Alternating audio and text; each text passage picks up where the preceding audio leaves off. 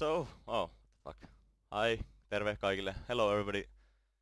People have been asking me to do the video about how to remove the uh, stupid sounds, the background sounds when you play. In Tomsk it's the engine that brrrr and uh, on the rig it's the helicopter and all that shit and Peshawar this uh, music and and gallery the music and all the stupid background sound that you hate. So after this it will be silent and you can hear the footsteps a lot of better.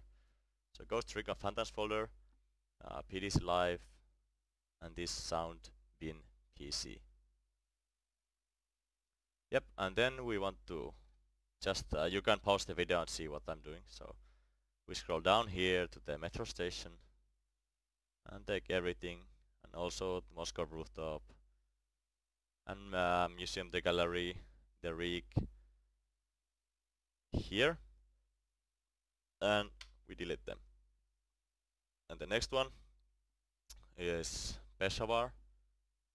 Here we delete it like this. This is the weapon sounds, you don't want to delete those.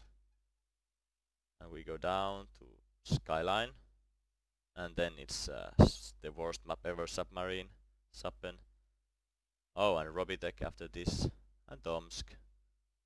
We go to here and delete. And okay, there you go guys. Very fast and very simple. You don't really want to touch the rest or or maybe if you don't want to hear reload sounds, but that's just stupid.